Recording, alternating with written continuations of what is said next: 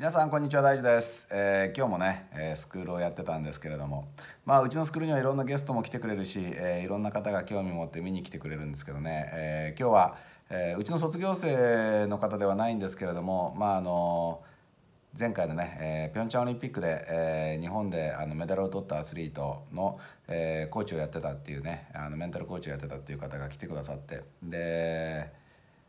いや実はねあのある方の紹介でその人と出会ってでまあ意気投合というかね非常に非常に話が盛り上がって是非僕のところも見に来てくれないかって言ったら今日見に来てくれたんですけどね、まあ、いくつか面白いフィードバックをもらってでありがたかったんだけどねそのうちの一つにまあ大樹さん自由にトレーニングやってますねというか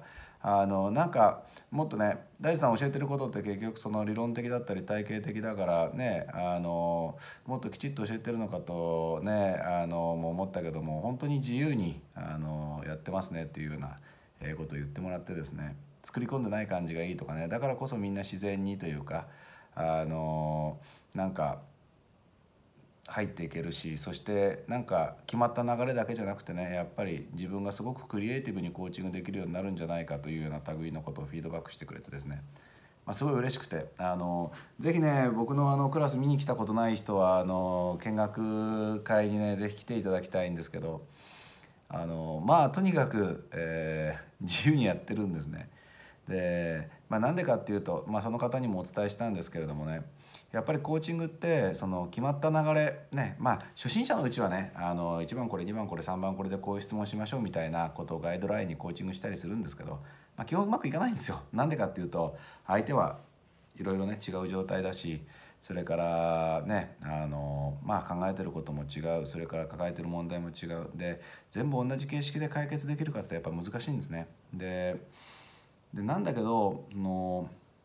だから基本はあるし基本的な考え方はあるけどそれを使いながらやっぱり相手のことを見てでそこに対応していくっていうことがね必要なんですけど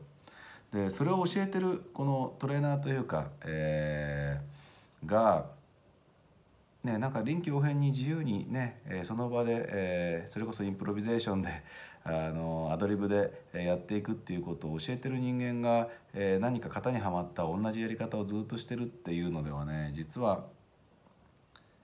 うまくいかないっていうのが僕の考えでだからもう根本的な原理原則とかね本当に何がベースになってる考え方なのかは徹底してうるさくうるさく伝えるんですけどでもあのそれをベースにして非常に自由なコーチングをやってもらいたいと思ってる関係で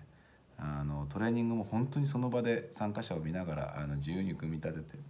でだから一緒に作ってるっていう感じなんですよね。でそのことがやっぱり素晴らしいって言ってもらえてすごく嬉しくて。であそうだこういう何て言うのかなその相手を見ながら相手と一緒に作っていくっていうことを、えー、本当にやりたいんだなということを改めて痛感しました。でなんかねそれはあのきちっきちっとしたカリキュラムとかね型にはまったやり方をしっかり教えていくっていうことが悪いっていうことじゃなくていろんなスタイルがあるんですね。